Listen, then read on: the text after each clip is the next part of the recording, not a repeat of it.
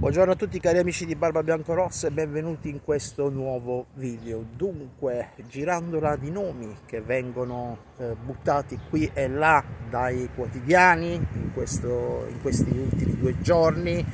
eh, incomincia a muoversi qualcosa, quella famosa macchina organizzativa per la costruzione della rosa per la stagione 2023-2024 eh, gli affari eh, arrivano alla definizione, soprattutto per quanto riguarda ad esempio Faggi dell'Imolese,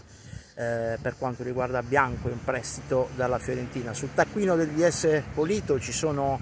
altri nomi, pare che si sia aperto anche eh, un asse tra il Bari e il Monza, Monza di Galliani, eh, non più del presidente Berlusconi per ovvie ragioni e eh, quindi vedremo che cosa porterà eh, in dote questa, eh, questa sinergia ecco perché si parla di alcuni giocatori. Altri sono, erano già presenti sul taccuino di Polito come eh, Valoti eh, che poi andrebbe a sostituire quello che è il ruolo che è stato di Michael Folorucio che è ritornato prest dal prestito eh, da parte del Napoli ed è in orbita Empoli. Eh, ma poi anche Barberis, anche Git eh, tutti i giocatori appunto della formazione Brianzola. Ci sono anche altre ehm, alternative per quanto riguarda eh, sia il centrocampo sia l'attacco eh, nell'attacco comunque eh, viene fatto anche il nome di eh, Moro, Moro che è di proprietà del Sassuolo, che ha giocato eh, nell'ultima stagione con i Ciociali del Frosinone guadagnandosi la promozione diretta in Serie A. Sappiamo che eh, praticamente Antenucci e Pucino innoveranno, quindi resteranno ancora, non si sa se per un anno o per qualche altra stagione, comunque eh, ma soprattutto Antenucci, soprattutto in quale veste, ecco, quale veste ricoprirà oltre a quella di calciatore a tutti gli effetti, uomo spogliatoio, sicuramente insieme al capitano di Cesare. E, ehm, mh, sulla fascia sinistra si fa il nome di eh, Colombo, mentre oltre a Moro per quanto riguarda la fase offensiva all'attacco si sono fatti nomi sempre di due giocatori però questi di proprietà del Milan ovvero Colombo e eh, Nasti che eh, ha concluso eh, la propria stagione nelle fila del Cosenza. Però diciamo che comunque eh, generalmente su Moro eh, ci sono eh, si potrebbe aprire ecco, una semi asta quindi sarebbe diciamo, il profilo meno, meno facilmente raggiungibile. Poi tutto può succedere nel mercato, tutto può succedere sicuramente con le eh, competenze eh, di eh, Ciro Polito che comunque sono numerose, soprattutto in fatto di eh, giovani eh, o meno, comunque abbastanza giovani promesse provenienti dalla Lega Pro o dalla stessa catetteria di Serie B. Diciamo che la linea ehm,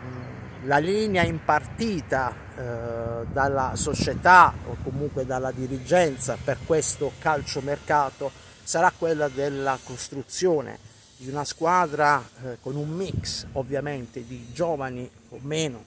eh, importanti, talentuosi, con voglia di emergere, con fame, Oltre a questi i giocatori che compongono un'ossatura, uno zoccolo duro della formazione biancorossa, quindi i vari Di Cesari, i vari Puccino, i vari Botta, staremo a vedere se lo stesso potrà eh, rinnovare, comunque anche Mirko Antenucci. Eh, quindi eh, lato portiere, lato portiere ancora tutto, tutto tace, eh, c'era stato un interessamento verso De Planche, portiere che aveva fatto tanto bene nei mondiali under 20 in Argentina in finale sconfitti contro l'Uruguay. De Planche del Vicenza che comunque eh, ha avuto eh, sta comunque eh, affrontando e eh, decidendo per quanto riguarda il suo futuro ehm, ci sono molte avance da parte della squadra rosanera del Palermo, quindi se non si sbloccano evidentemente alcune caselle, e mi riferisco in particolare alle eventuali, perché parliamo ancora di eventuali cessioni di Chedira e eh, Caprile, che sono quelle diciamo un po' sulla bocca di tutti, sono i giocatori che sono stati valorizzati molto di più in questa stagione, nella stagione calcistica appena trascorsa, fino a quando non ci sarà, eh, non verranno smosse quelle caselle, evidentemente non si potrà andare alla rincorsa dei sostituti o del sostituto del giocatore, sia del giocatore italo-marocchino che del portiere della nazionale under 21. Chiaramente la speranza per molti tifosi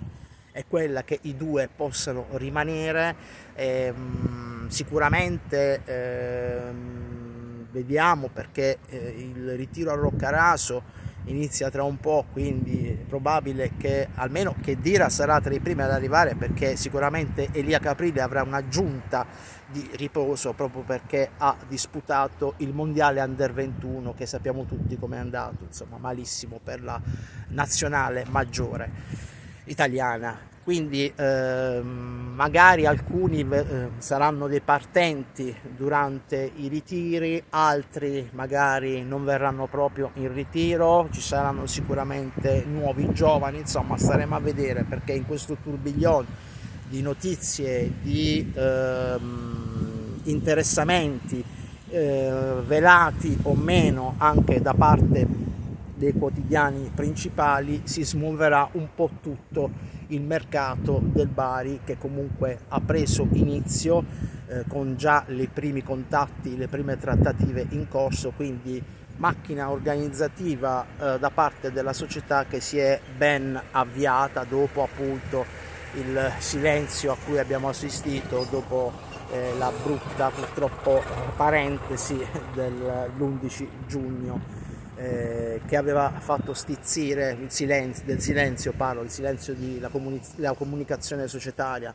sui progetti e sulla chiarezza, aveva fatto un po' stizzire la piazza.